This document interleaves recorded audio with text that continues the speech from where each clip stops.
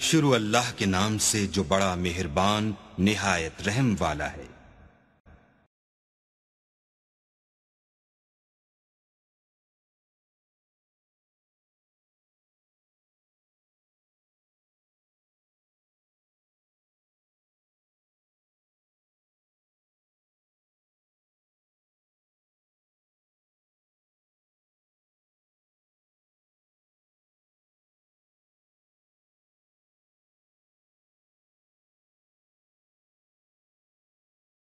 Assalamualaikum my social media family and welcome to online learning session 2020 presented by Nazir CCFT and the NTS.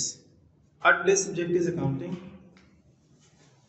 It's uh, unit number 1 introduction to accounting and exercise number again 2 ही है और basic concepts ही चल रहे हैं ठीक है क्योंकि ये basic concepts जो है बहुत ज़रूरी हैं ताकि आप accounting के अंदर आगे बढ़ सकें बहुत गौर से सुनना है। Rules of debit and credit ठीक है? ये डेबिट और क्रेडिट का जो वर्ड है, ये आप लोग सुन रहे हैं। जिस तरह से एक सब्जेक्ट होता है, उस सब्जेक्ट की अपनी टर्मिनोलॉजीज होती हैं। सेम इसी तरह से अकाउंटिंग भी, चूँकि एक सब्जेक्ट भी है तो इसकी भी अपनी टर्मिनोलॉजीज हैं। तो सबसे बेसिक जो टर्मिनोलॉजीज की यूज़ होती हैं, जिस पे किसी भी जो बिज़नेस ट्रांजेक्शन है, उसको नापा जाता है, वो है डेबिट एंड क्रेडिट इसको शॉर्ट में डीआर और CR debit record and credit record कहा जाता है। तो टाइटल ऑफ़ अकाउंट यानी मेन अकाउंट जो है वो हमारे पास पाँच हैं। Assets expense liabilities income proprietorship and expense ठीक है? अगर मैंने यहाँ इंक्रीज की हेडिंग लगाई है या डिक्रीज की? अगर ये इंक्रीज होते हैं तो इंक्रीज के अंदर एसेट्स और अगर एक्सपेंस की बात की जाए तो ये दोनों डेबिट हो जाते हैं। और डिक्रीज होने पे ये दोनों क्रेडिट होते हैं। सेम इसी तरह से इंक्रीज होने पे ये बाकी के तीन लाइबिलिटीज प्रोप्राइटरशिप या ऑनरशिप और इनकम ये क्रेडिट हो जाते हैं इंक्रीज होने से और डिक्रीज होने से ये डेबिट हो जाते हैं। ठीक है? तो ये आपको अपने माइंड में रखना है, इस चार्ट को याद करना है और रट लेना है बिल्कुल अच्छी तरीके से ताकि आपको जो है वो आगे प्रॉब्लम ना हो। लेकिन उससे भी पहले जो इससे पिछले जो तीन लेक्चर आपके गुजर चुके हैं, क्योंकि आज लेक्चर जो है वो हमारा डी है वन डी है। तो उनको जो है वो याद करना बहुत ज़रूरी है अकाउंट्स और उसकी जो बेसिक जो टाइप्स हैं, उनको, ठीक है? ताकि आप लोग जो है वो पहचान सकें, जब आपके पास बिज़नेस ट्रांजेक्शन लिखी हुई आए तो आप उसके अंदर से निकाल सकें क्या क्या किन दो चीज़ों या तीन चीज़ों के बारे में ये कह रहा है। इसके बाद अकाउंटिंग इक्वेशन है। अकाउंटिंग इक्वेशन जो है वो एसेट्स हमेशा किसी भी फाइनेंशियल इंस्टीट्यूट के बराबर होते हैं उसके ऊपर जितनी लाइबिलिटीज होती है और उसका जो ओनर इक्विटी या कैपिटल होता है, उसको जमा करके। ठीक है? इन दो चीज़ों को अगर जमा करें तो वो एसेट्स के बराबर है। और चूँकि ये अकाउंटिंग इक्वेशन है, इसलिए गोल का साइन लगा हुआ है। और इक्वेशन तो इसी तरह वर्क कर रही है। यहाँ से जो चीज़ वहाँ जाएगी वो माइनस हो जाएगी, अगर प्लस की होगी। और अगर यहाँ माइनस की होगी तो वहाँ प्लस हो जाएगी। तो अकाउंटिंग इक्वेशन के अंदर असल में जो है, आपको क्या करना होता है? एसेट्स को बराबर करना होता है लाइबिलिटीज प्लस ओनर इक्विटी के, या फिर अगर इस इक्वेशन की मदद से आप क्वेश्चन सॉल्व करना चाहें एक्सरसाइज के लिए तो एक इक्वेशन में जितनी जो है हेड्स दिए हुए होते हैं, उस इक्वेशन को उतने ही तरीकों से यूज़ किया जा सकता है। जैसे कि यहाँ एक, दो, तीन हेड्स हैं, तीन तरीकों से इसको लिखा जा सकता है। एक तरीका तो यही है। दूसरा तरीका, अगर मैं एसेट को ए से शो कर दूँ लाइबिलिटीज को एल से शो कर दूँ तो अगर ओनर इक्विटी मुझे मालूम करनी है, वो यही रहेगी। लाइबिलिटीज वहाँ जाकर माइनस हो जाएँगी। सेम इसी तरह से अगर लाइबिलिटीज यहाँ पर रहे ओनर इक्विटी वहाँ जाके माइनस हो जाए एसेट्स में से तो हमें लाइबिलिटीज जो है वो मिल जाएँगी। अकाउंटिंग इक्वेशन जो है, ये सबसे पहले करवाई जाती है। लेकिन मुझे नहीं समझ में आता क्यों करवाई जाती है। ठीक है? अपने अपने देखे समझ की बात होती है और अपने अपने माइंड अपने मिजाज की बात होती है। मुझे जिस तरह से अकाउंटिंग समझ में आई है, मुझे लगता है कि इस तरह से पढ़ाना जो है वो ज़्यादा आसान है। तो मैं फ़िलहाल ये स्किप करूँगा। ये मैं अभी नहीं करवाऊँगा, ये मैं आप लोगों को बाद में करवाऊँगा। क्योंकि इसके बाद भी जो है वो कुछ चीज़ें हैं जो मुझे आप लोगों को करवानी है बेसिक हैं, ठीक है? उनको करवाने के बाद मैं आप लोगों को जो है वो अकाउंटिंग इक्वेशन ही के ऊपर इंशाल्लाह लेकर आऊँगा और बाकी जो चीज़ें होंगी वो हमारी जो है वो तरीके से चलेंगी। इसके बाद जो है एक प्रैक्टिस क्वेश्चन दे दिया है। लिखा भी मेरे रेड से है, ताकि आप लोगों को पता लग जाए टेस्ट है आप लोगों का। क्वेश्चन नंबर वन है, classify the following accounts into main accounts and state rules of debit and credit in terms of increase and decrease. 2012 regular और फ़र्स्ट ईयर के क्वेश्चन पेपर के अंदर से एनुअल पेपर में से ये मैंने क्वेश्चन निकाला है। Rules of debit and credit तो मैं यहाँ आप लोगों को बता चुका हूँ, ठीक है? तो ये तो आप लोगों को याद करने के लिए जो है वो बेहतरीन है। अगर आप इसको इस तरह से जो है वो याद करने के लिए जो है वो यूज़ करेंगे तो ये याद हो जाएगा आप लोगों को। लिखने का जहाँ तक तरीका है तो उसको लिखना एग्ज़ाम के लिहाज से इस तरह से ही सोल्यूशन डालेंगे हेडिंग इसके बाद rules of debit and credit लिखेंगे। Assets increase debit asset increase होने से डेबिट में। यानी कि ये बात यही है एसेट इंक्रीज होने से डेबिट में। ठीक है? एक्सपेंस इंक्रीज होने से डेबिट में। तो यहाँ पर भी मैंने एक्सपेंस इंक्रीज डेबिट उसके बाद एसेट इंक्रीज लेकिन credit sorry income increase credit liability increase credit proprietorship increase credit ठीक है? तो income liability owner equity increase होने से क्रेडिट में चली जाती है। दोबारा से इनको लिखूँगा, अब मैं डिक्रीज के हिसाब से इनको बताऊँगा। यहाँ पर भी दिया हुआ है asset expense decrease credit income liability proprietorship decrease debit लेकिन इसको यहाँ पर लिखना भी है। तो assets decrease credit expense decrease credit लेकिन income liability owner equity decrease होने से डेबिट में चले जाएँगे। तो ये एक हिस्सा ये जो सेकंड वाला हिस्सा था state rules of debit and credit in terms of increase and decrease ये मैंने यहाँ सॉल्व कर दिया। जो दूसरा हिस्सा है इसका यानी कि पहला वाला, कि classify the following accounts into main accounts in accounts को जो है वो मेन अकाउंट्स के अंदर जो है वो आप क्लासिफाई करें। इसको अभी मैं, इसके ऑप्शन भी लिखता हूँ, फिर इसको हम सॉल्व भी करते हैं। ठीक है? और इसके जो मजीद क्वेश्चन हैं, वो मैं बुक के अंदर आपको उसके लिए ले चलूँगा और कॉपी के अंदर हम उसको मजीद जो है वो इनकी प्रैक्टिस भी करेंगे। तो ये पहला क्वेश्चन है। इसके बाद जो मजीद दो क्वेश्चन है, उनको भी हम देखते हैं। ठीक है? ओके स्टूडेंट्स ये देखिए। इस सवाल का जो बाकी का हिस्सा था, वो असल में मैंने यहाँ उतार दिया, ये जो ऑप्शंस थे, किसके लिए? क्लासीफाई द फॉलोइंग अकाउंट्स के। यानी इन अकाउंट्स को आप लोगों को क्लासिफाई करना है, ठीक है? तो ये सवाल का हिस्सा था, ये चाहें तो इस सवाल के अंदर ही जो है वो आप उतार लें, ठीक है?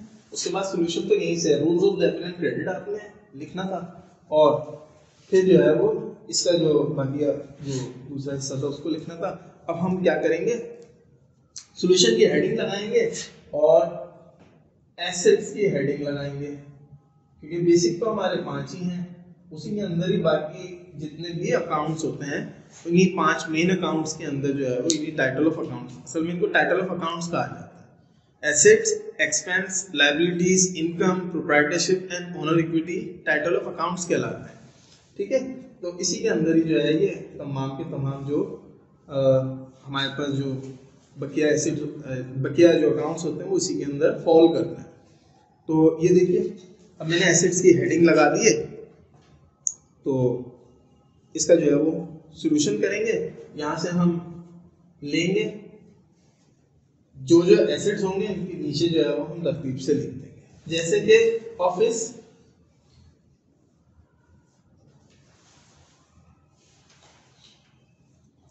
इक्विपमेंट शॉर्ट में लिख रहा हूँ मैं।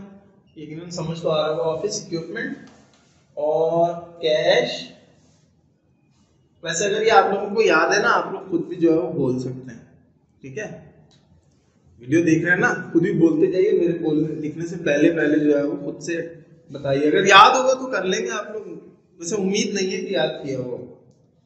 आप लोगों को भी कह रहा हूँ, आप लोगों को भी कह रहा हूँ, दोनों office equipment cash office supplies ठीक है?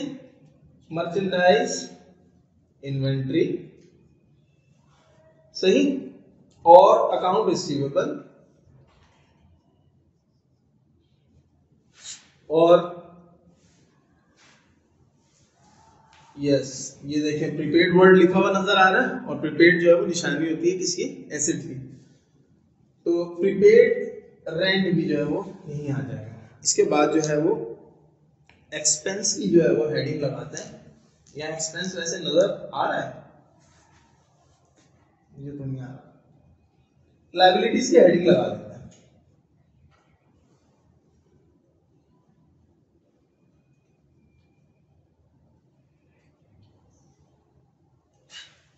सही?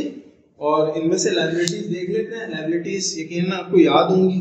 उनकी पहचान क्या होती है? तो ये सबसे पहले में अकाउंट पेबल ठीक है? ये ना सैलरीज पेबल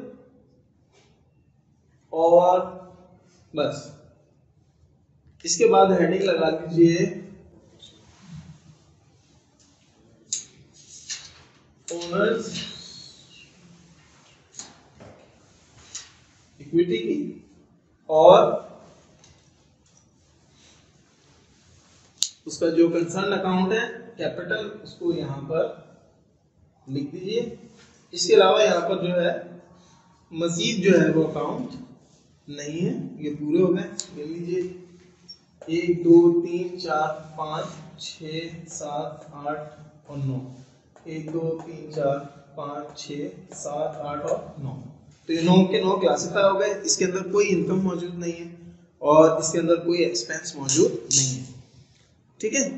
तो उम्मीद है जो है, ये लेक्चर और ये क्वेश्चन आपको जो है वो समझ में आ गया होगा। मजीद प्रैक्टिस क्वेश्चन है, उसके लिए जो है वो हम कॉपी में चलते हैं बुक के अंदर चलते हैं और वहाँ से जो है वो इसको सॉल्व करते हैं। ठीक है? और बाकी जो है ये अकाउंटिंग इक्वेशन मैंने कहा है, ये करवाना, करवाते हैं। मैं नहीं करवा रहा। कोई वजह है, नहीं करवा रहा। उसका फैसला आप लोग खुद कीजिएगा। जब हमारा जो लेक्चर है, मजीद आगे चलेगा, जब मैं करवाऊँगा। ये आपको मेरा ख्याल है ज़्यादा बेहतर उस वक्त समझ में आएगा। ठीक है स्टूडेंट्स ये स्टूडेंट्स ये सवाल जो है वो आप लोगों के सामने हैं। ठीक है क्लासिफिकेशन ऑफ़ अकाउंट्स ही हैं ये। आपने ये सवाल दिया हुआ कितने सारे अकाउंट्स हैं?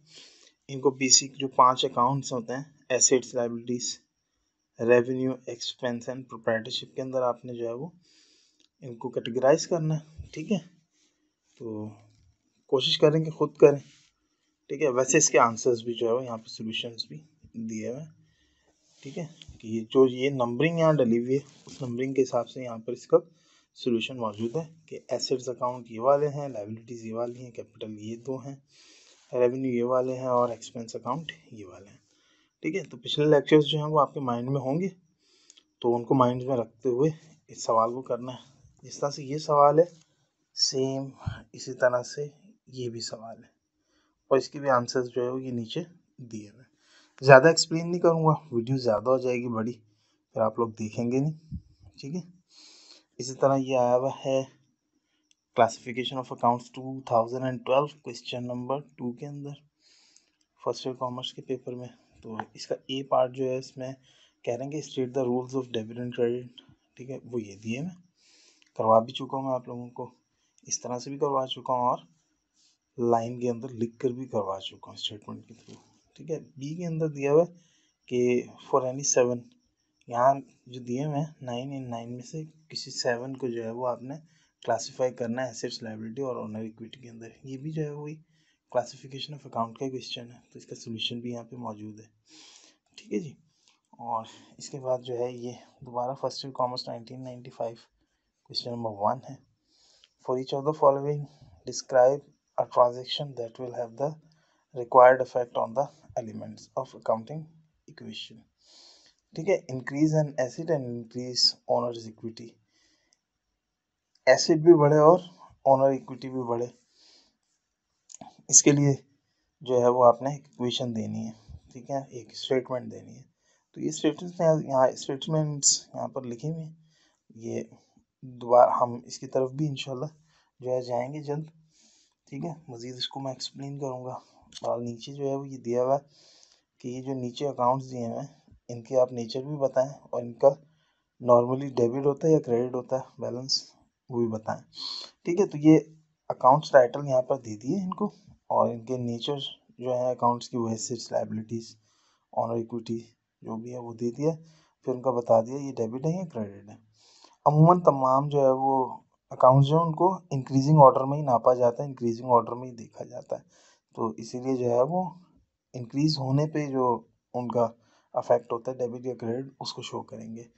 ठीक है स्टूडेंट्स तो अब तक के लिए इतना ही। इंशाल्लाह अगली वीडियो में मुलाकात होगी। तब तक के लिए goodbye and thank you बाकी जो क्वेश्चन हैं, इनकी तैयारी के लिए आप मज़ीद जो है, वो टैनर को देख कर मज़ीद उनकी जो है, वो तैयारी के लिए आप टैनर को देख सकते हैं, उनके भी सवाल को कर सकते हैं।